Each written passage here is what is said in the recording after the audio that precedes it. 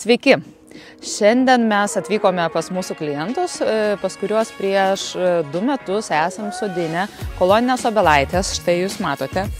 Visos yra sodintos skirtingos dėl to, kad e, klientai pagidavo turėti įvairių skonių obelų Ir kadangi sklypas buvo mažas, tai būtent buvo ir pasirinktas tas želdinimas, kad e, tvorą apželdinti koloniniam obelim. Taigi mūsų šiandien tikslas yra jas taisyklingai apgenėti, suformuoti, kad jos būtų tikrai koloniškas.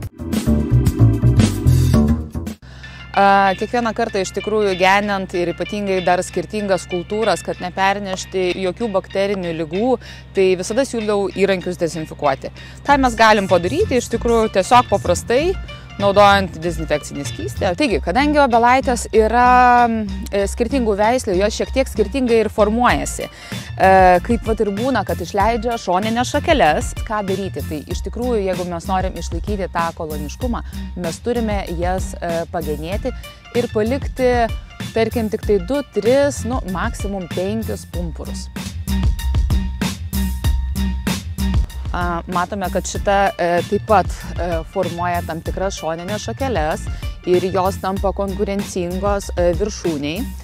Tai išlaikyti koloniškumą mes vis dėlto turim jas tada pakirpti.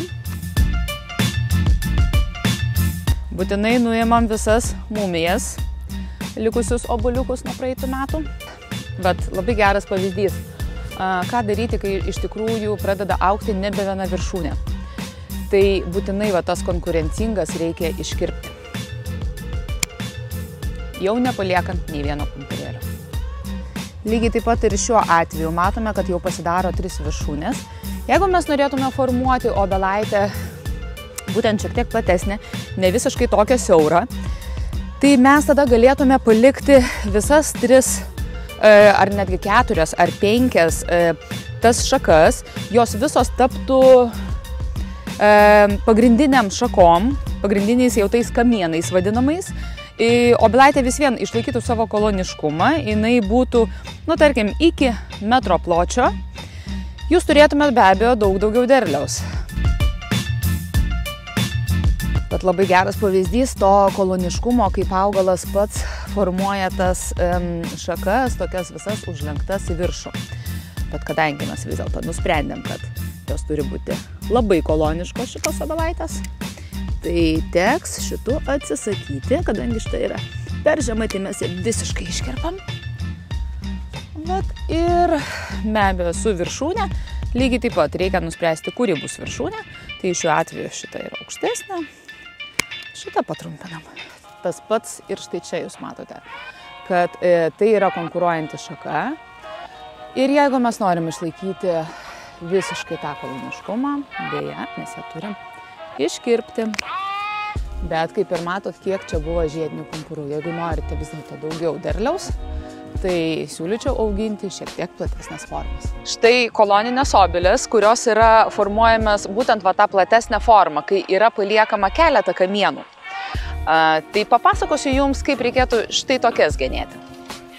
Svarbiausias dalykas yra tas, kad e, aš nenoriu, kad jos būtų platesnės, tai tad visos šakos, kurios auktų į šitą pusę, um, arba tarkim jau plačiau į šitą pusę, tai jos būtų trumpinamos. Tai vat lygiai taip pat kaip ir su šita šaka. Um, taip jinai be abejo gali būti, kad užsiries tai, bet mes ją šiek tiek patrumpinam tam, kad iš šito pumporo vis dėlto eitų labiau stačiau. Ir vidinės šakos turi būti iškirptos, todėl kad e, iš tikrųjų jos negaus reikiamai saulės spindulių ir dėl to nesugebės subrandinti vis dėlto kokybiško derliaus. Darbas padarytas, e, nugenėt nugenėjome, ką reikėtų dar padaryti. Iš tikrųjų labai labai svarbu yra e, būtent purškimas ir tai yra pavasarinis purškimas su vario sulfato preparatais tam, kad tai būtų prevencija visom grybinėms lygoms. Kol oras yra dar šaltas, tai galima būtų vario e, sulfato sumaišyti su karbamidu. Ir lygiai taip pat nupurkšti augalą nuo viršūnės, visą netgi kamieną apipurškiant iki pat apačios ir netgi pomedžius nupurkšti. Bet tą reikėtų daryti iki tol, kol temperatūra yra plus 5 ir nu, galbūt nedidesnė. Šiom dienom taip pat tai galima daryti, kadangi aš kalbu apie vidutinę paros temperatūrą. kad neturi būti labai šilta, kad nepradėtų brinkti pumpurai. Dar svarbus momentas šitom kolonijom bilaitėm, ko trūksta, tai koliukų. Tam, kad jos auktų tiesiai ir neprikaištingai. Ir vėlesnį laikotarpį, tai yra galbūt balandžio pradžioje, priklausomai nuo orų, reikėtų patrešti. Yeah.